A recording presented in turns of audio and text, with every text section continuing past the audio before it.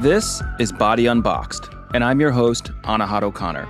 On every episode, we're breaking down some of the biggest questions in nutrition with the help of certified health experts who quite literally wrote the book on nutrition. Every episode will feature the real data delivered from some of the world's top health professionals, writers, and researchers. I'm here with our resident expert, Professor Joan Salge Blake.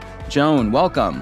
Thank you, Anahad. I am a nutrition professor at Boston University, and I also wrote the Pearson textbook, Nutrition and You. Dr. Joan has so many great contacts in the world of nutrition and health. She's managed to pin down some incredible guests, and we're so excited to hear from them throughout the season.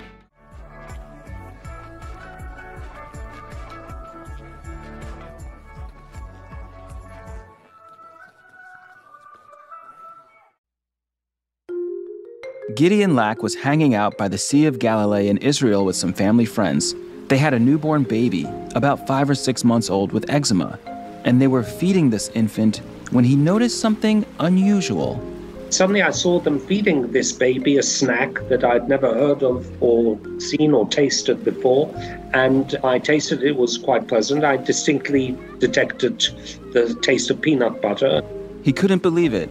You see, Gideon is a pediatric allergist, and if there's one thing that he knows parents are cautious about, it's feeding peanuts to their young children.